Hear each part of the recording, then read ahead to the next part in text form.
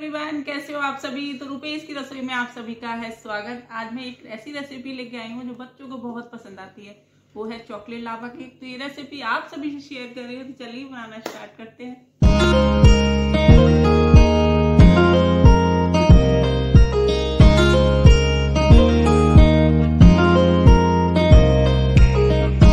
तो यहाँ पर मैंने जो है चॉकलेट बिस्किट लिए हैं और ये है डेरी मिल्क तो सबसे पहले हम क्या करते हैं, यहाँ पर मैंने चॉकलेट बिस्किट लिए हैं, दो बड़े साइज़ के लिए हैं और तो ये तीन छोटे छोटे लिए हैं। तो ये सारे बिस्किट हैं।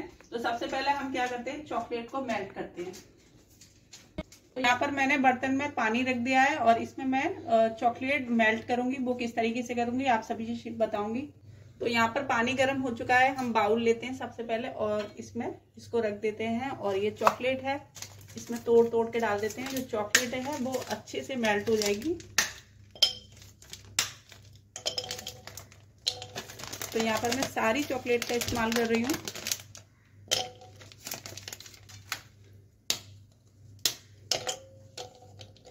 थोड़ा सा मैं इसमें डालूँगी आधा कप दूध।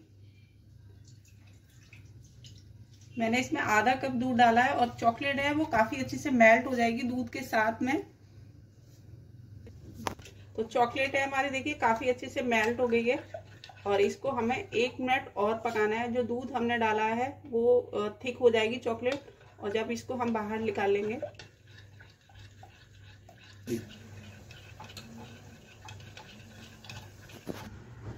तो हमारी जो चॉकलेट है, वो काफ़ी अच्छे से मेल्ट हो गई है। और ये देखिए, बहुत अच्छे से अब हम यहाँ पर गैस की फ्लेम कर देते हैं बंद। और चॉकलेट को बाहर निकाल लेते हैं।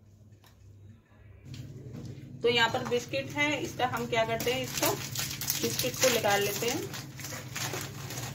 इस तरीके से, और हमने एक मिक्सी डाल लेना है, और इसमें जो बिस्किट है, वो तोड़ तोड़ के इस तरीके से डाल देना है। और इसका बारीक सा पाउडर बना लेंगे बिस्किट का। अब इसमें हम डालेंगे दो कप दूध। तो इसमें दो कप दूध डाल दे, ये दूसरा कप। अब इसका हम नहीं। तो इसका हम एक बैटर बना लेते हैं। स्टार्ट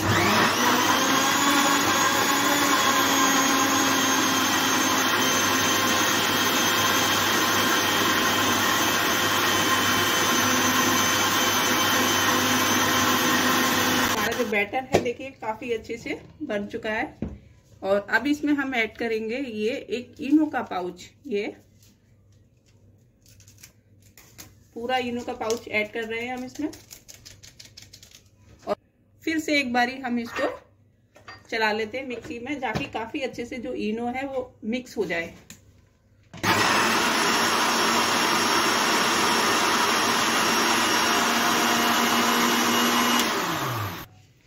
तो देखिए हमारा जो बैटर है, वो बिल्कुल अच्छे से तैयार हो चुका है और बहुत ही बारीक से हमने इसको पीसा है। और इसमें हमने दो कप दूध डाला था। चीनी हमने इसमें नहीं डाली थी क्योंकि बिस्कुट हैं, जो है वो मीठे इसमें डाले हैं। हमने बिस्किट, वो मीठे होते हैं, इसमें हमने चीनी का इस्तेमाल नहीं किया है।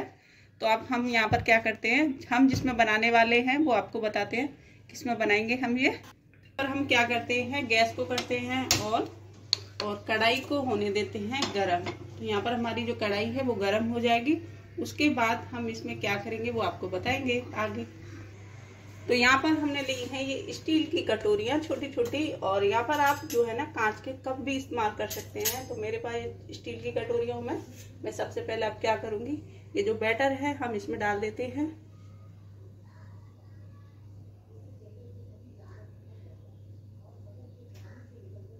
ये हमने इतना इतना बैटर सभी कटोरियों में डाल देते हैं।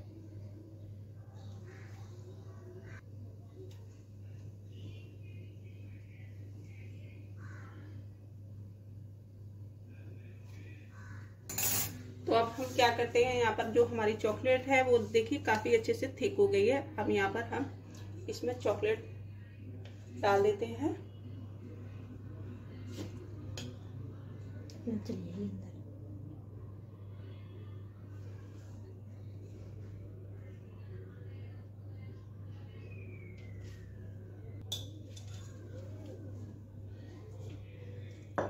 तो हमने यहाँ पर सभी कटोरियों में चॉकलेट डाल दिया है। अब यहाँ पर हमने इसको टैप नहीं करना।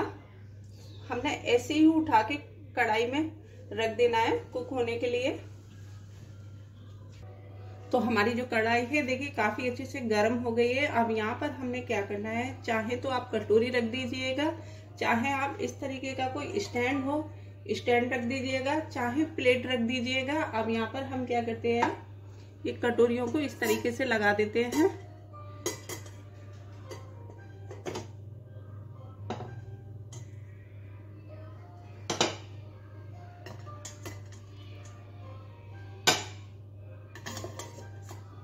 अब यहाँ पर हम वेट करते हैं छह से सात मिनट का। इसको कवर कर देते हैं हम छह से सात मिनट के लिए और गैस की फ्लेम मीडियम रखेंगे। तो छह से सात मिनट हो चुके हैं केक को रखे हुए। इसको एक बारी चेक कर लेते हैं हम। तो हमारा जो केक है लगभग काफ़ी अच्छे से बन चुका है। अब यहाँ पर गैस की फ्लेम हमने बंद कर दी है। और इसको दो मिनट ठंडा होने देते हैं। दो मिनट के बाद इसको चेक करेंगे। ये देखिए, हमारा जो चोको लावा केक बहुत ही टेस्टी बन के रेडी है और इतना सॉफ्ट आप इसको घर पर बहुत ही अच्छे से और इजीली बना सकते हो। और ये चौको लावा केक इसको गरम गरम खाने में ही अच्छा लगता है, बहुत टेस्टी लगता है। तो ये मेरी छोटी सी रेसिपी थी, आपको पसंद आई होगी। अगर पसंद आए तो मेरे चैनल को सब्सक्राइब ज़रूर कीजिएगा और एक लाइक कीजिएगा। तो आप भी बना के ट्राई कीजिएगा इसको। तो चलते, मिलते हैं अगली वीडियो में। जब तक बने रहिए रुकेश की रसोई में।